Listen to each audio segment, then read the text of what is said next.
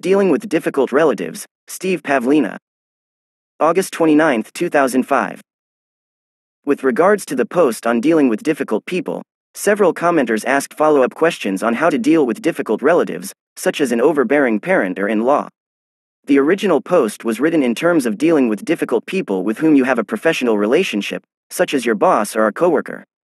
But if the problem person is a relative and your relationship is personal instead of professional, that's a whole different beast.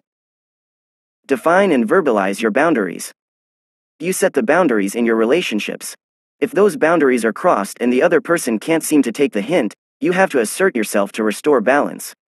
If you have relatives who fail to respect your boundaries and behave as if the purpose of your relationship is for you to bend over backwards to satisfy all of their needs, you certainly aren't alone. I'm talking about boundaries that you consider to be bottom lines that should not be crossed, ones that make you feel violated when they are. For example, if you value your privacy and a relative insists on frequent unannounced drop in visits, that may be a bottom line for you. Or if your mother in law, Endora, keeps turning you into barnyard animals without your consent, you might feel it's time to put a stop to it, especially if you begin craving grass while in human form. The first thing to realize is that it's perfectly okay to satisfy your own needs. A relationship that makes you feel violated isn't healthy. Correcting problematic relationships in a physical, external world sense is fairly straightforward. You must clearly define the boundaries you're comfortable with, let the other person know what those boundaries are, and then enforce them. There isn't much more to it than that. If your boundaries are reasonable, and the person is either unwilling or incapable of complying with them, you're done. In most situations, it would be foolish to continue such a relationship. It will only erode your self respect. If you've been going years without clearly verbalizing and enforcing your boundaries like a mature adult, i.e., you've been letting the other person treat you like a child for too long, most likely the other person won't take you seriously at first. They may even react with a bit of shock, usually feigned, at the mere suggestion that you dare attempt to put restrictions on their behavior. Just let that person have their reaction, but stand your ground anyway. Enforce your boundaries.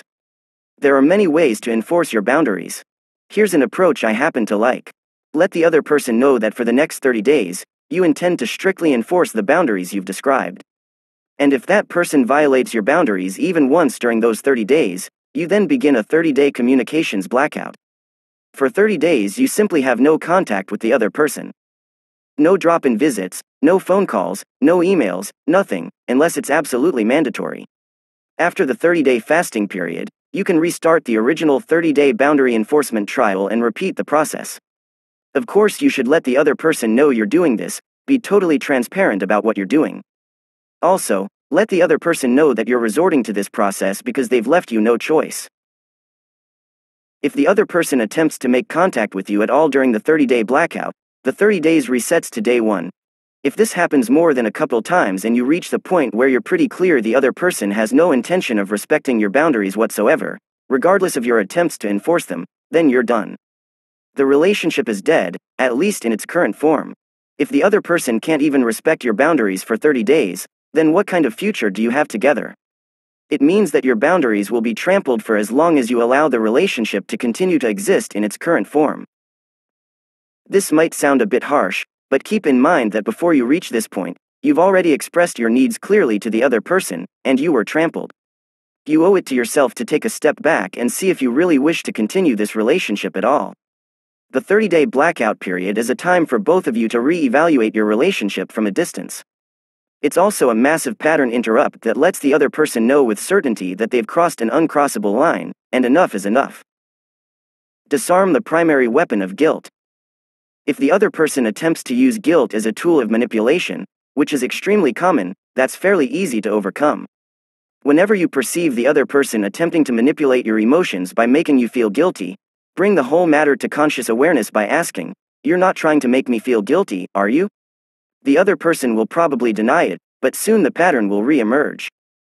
Keep interrupting the pattern of falling into a state of guilt by bringing attention to the other person's emotionally manipulative tactics. Simply keep asking questions like, Why do you feel it necessary to attempt to use guilt as a tool of manipulation?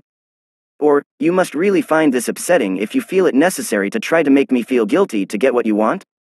Can we try a more mature way of discussing this perhaps? You don't need to beat the person up about it, but put a stop to the weapon of guilt once and for all. If you refuse to enter the emotional state of guilt, it will allow you to be more compassionate in seeing that the other person is probably using guilt because they feel powerless. And if you can address that powerlessness, you have the opportunity to transform the relationship for good. Who does the enforcing?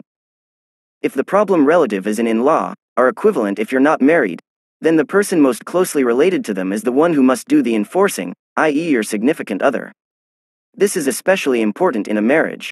You and your spouse must put each other first above all other relatives.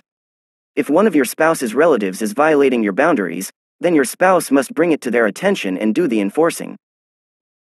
Problems of this nature are especially common in relationships between 20 somethings because you're often in a transitional phase with how you identify your primary family. For example, if you're living with someone, you may be getting closer to them while still thinking of your family as the one you were born into. But when you're married with a couple kids, you're likely to think of your primary family as your spouse and children. So, for many people, the 20s represent a period of shifting identities, a time when problems with other relatives can spike because they interfere with your romantic relationship, and your partner will bring it to your attention. It's not uncommon to be living with someone and building a close romantic relationship while gradually discovering the other person is still married to his, her, mommy, or equivalent. When you see this pattern occurring where you don't have the leverage to enforce boundaries on your spouse's relative, and your partner seems spineless about having a confrontation, then you have to enforce these boundaries with your partner by holding him, her directly responsible for the behavior of his, her relative. This has the benefit of pushing your partner to grow up, albeit sometimes kicking and screaming, and learning to put your needs first and mommy's needs second. Some people just need a good kick to get themselves out of childhood and into adulthood, especially during their 20s. In the long run, your partner will likely be grateful to you for his, her new spine. If all else fails, run. If the above solution fails, just up and move to another city. Many people swear their marriages have been saved by this solution. Slightly smiling face.